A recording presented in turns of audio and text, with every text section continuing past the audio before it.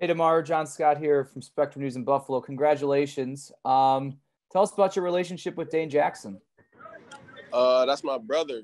Um, that's literally like a brother to me. Um, you know, we, we grew up on the same side of town in Pittsburgh, so we knew each other since we was about, I'll say about seven, eight years old.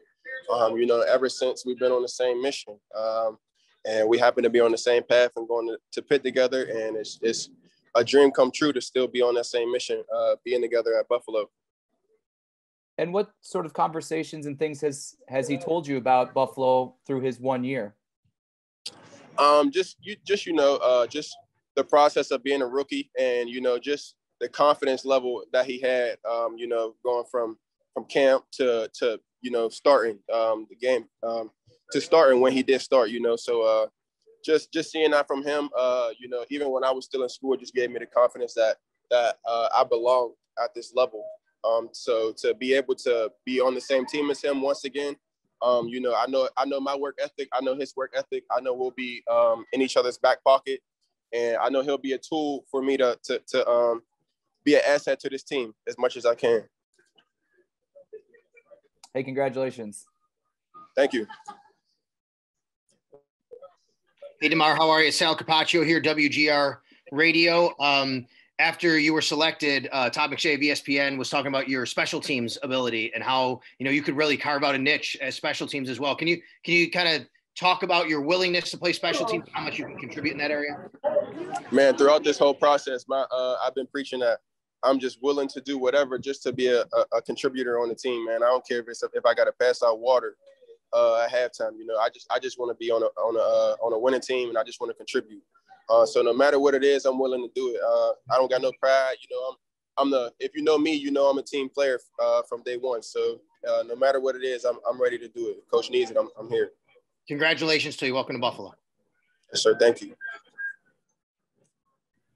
Hi, Damar. Uh, congratulations. First of all, I- I'm curious. You know, baked into this, you know, your conversations with the Bills and what they kind of envision for you. What do you envision of yourself, not only right off the bat, but over the course of your career and how you fit in this league and what you can do? Um, you know, I I just I kind of I kind of let God lead the way. I hope that's not too loud. Some, some oh no, you're good.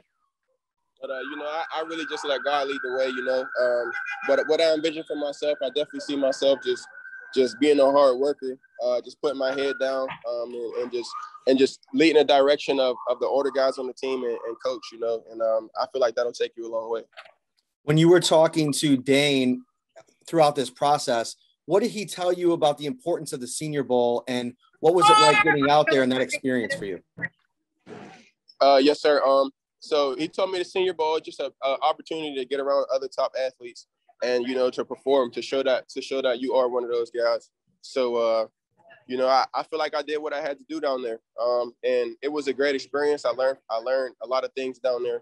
And uh, you know, I'm just I'm ready to get to Buffalo and just put my head down and work. Thank you. Congratulations again. Thank you.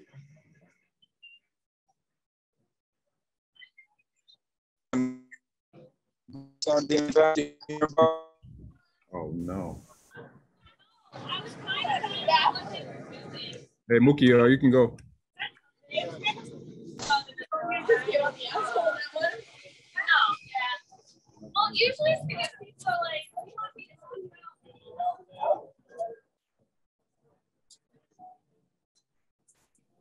Hey, Damar, sorry to jump on again. Uh, this is Sal from WGR Radio again. I see you went to Pittsburgh Central Catholic. Um, that is a huge football school, right? I mean, you guys have a ton of alumni, including Dan Marino, I think, Steve Wisniewski, right? I mean, Wisniewski, but um, you know, how did that prepare you, you know, growing up, going to a place like that? Uh, it prepared me well. Uh, you know, going into it at first, you know, I was a um, small fish in a big pond, but uh, you know, uh, like I like like I will have to do in Buffalo. I put my head down and I just worked. Uh, I got around some good some good leaders um, early that I trusted, and uh, you know they they led me in the right direction. Um, I, I kind of picked up on their habits early, and it was it was able to uh, make me make me successful in the long run. So uh, you know, it really been that process every step of the way. You know, from high school to college, and uh, it'll probably be the same going into the league. So you know, I, am looking forward to getting with some vets and getting with Dane, of course, and uh, just just learning the ropes and uh, just trusting their way.